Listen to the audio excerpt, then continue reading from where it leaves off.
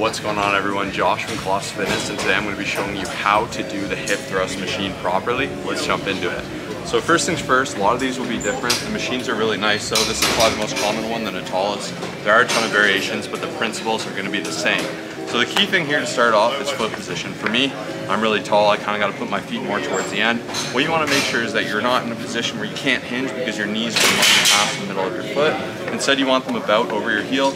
So for me, this is what feels about right.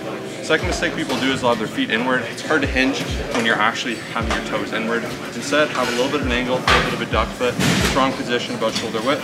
Now we're good to get into motion. You're gonna rest your lower back on the hip thrust here. You're gonna buckle yourself up nice and tight. So for me, just like to get here, lock this puppy in. From here, you're gonna sit up and you're gonna thrust up. So thrusting motion, can envision your stomach's going up to the ceiling and you're squeezing your glutes. So here I'm in a strong position, gonna unlock the machine.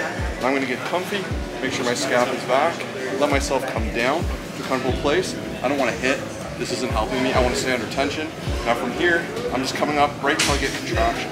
The mistake I made in the past, I do this, way back, I'm doing a, a bridge like you would in school. Instead, you just want to squeeze those glutes. Right here, I can get a full contraction. I can come down, big squeeze. Hands are on the chest, they're not on the machine. Come down with control, big squeeze, one, two, come down slow, power up. This is the thrust, make sure you get a full contraction in the glute. And that's in a nutshell, come up, lock that puppy in, buckle yourself, voila. So we're not done yet. We want to give you a bunch of common mistakes so that way you can avoid making these and do this and get the most of the movement. So first off, as Josh already mentioned a little bit, it's about the foot positioning. So a lot of times people will put their feet a little bit too close, which doesn't allow you to get a full contraction.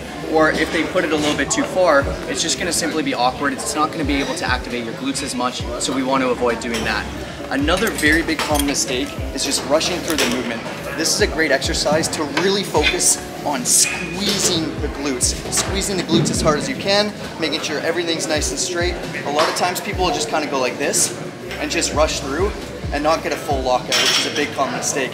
And number three is just simply not looking forward. So I found the hard way, unfortunately, I used to do this similar to Josh, I'd always look up, and this just doesn't allow you to activate the glutes and squeeze as much. So you wanna make sure to look forward, keep everything nice and tight. And this little bonus, you really wanna make sure that you're not depending on these things, right? This is gonna be very easy, which is gonna take away from the movement. Whereas if you keep your hands across here, it's gonna be a great way to really just focus on squeezing, making sure you're getting the most of the movements and all that great stuff. So we do have first link down in the description, a full form guide, 70 plus exercises completely free.